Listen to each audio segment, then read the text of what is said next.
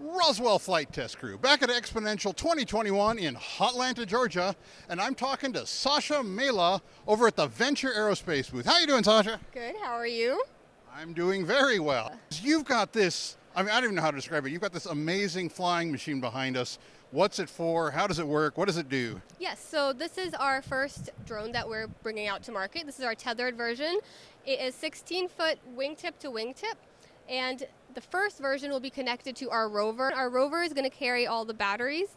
Um, and then after this, we're going to move on to our diesel engine, which the diesel is fuel agnostic. It will be untethered, free flying, and hopefully our hope is that we'll make this production process very simple so it's easily scalable. Everybody across the world will be able to do it and implement it in farming.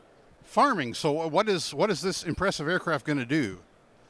under the aircraft there's a small pod and that pod is open source so every company every client will be able to make their own version of what they want the drone to do mapping versus adding nozzles and um, we actually will have some um, machine learning technologies on the underside to help farmers identify which plant is diseased, why it's diseased, and the drone will be autonomous enough that the farmer will be connected to an app that'll allow them to click on their land that's fully mapped and tell the drone to go spray a particular plant or find a particular problem. Got it. I was going to say, this is a pretty big aircraft just for mapping, so I imagine agriculture applications your main market. Yes, and it, the for the tethered version, we have gotten a lot of interest from construction companies because we've been able to lift about 350 pounds with this version, and the diesel will be 500 pounds minimum, and that will be a fuel and fertilizer materials trade-off. Wow, that's that's just crazy impressive. Now, what is this aircraft made of? The material is kind of unusual. I don't think I've ever seen anything quite like it before. Mm-hmm. So the one you see behind me is actually our model for our aircraft. We had to basically make this ourselves in our in our labs. This is our mold, our, our initial mold. So once we have proven, which we have, we've proven that this has flown and this are, is our shape, we're going to move to our true material. This is our proprietary polyurethane foam mixture with layers of carbon glass and epoxy and resin on the outside. And this is all pressurized. So it kind of cures in the same way that tempered glass cures. And it's very easy to make. Cure time is about seven, eight hours. You can make hundreds.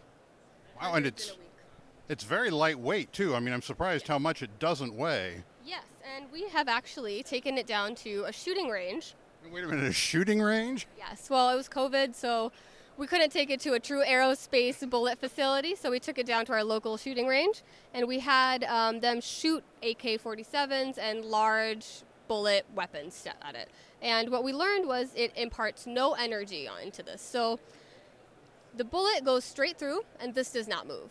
So if our aircraft is flying and being shot at, no one will be able to drop it.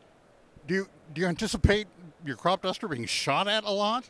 Yes, well, crop dusters are shot at every single year. About 1% dies in crashes, and many are just shot at and their planes are brought down um, by their neighbors, by anybody. They, it's a thing where if you're in a crop duster, it's very hard to have a turn, so you can't like bank properly back. So if you go above somebody else's land and you have um, something like Monsanto and they don't, then they get really angry and they shoot at you. Wow. Okay. Well, newsflash there, everybody. So you've got these two giant propellers for um, for lift, I take it, and in the back you've got four equally sized motors. What are those for? Those are for our pitch yaw controlling surfaces, but um, we will not be using that in the diesel version. You, when we move to the diesel version, we're, we're going to take out all of our blades, all of our props, and we're going to have this 3D printed Inconel combustion chamber. So this is basically the most important thing for our diesel engine.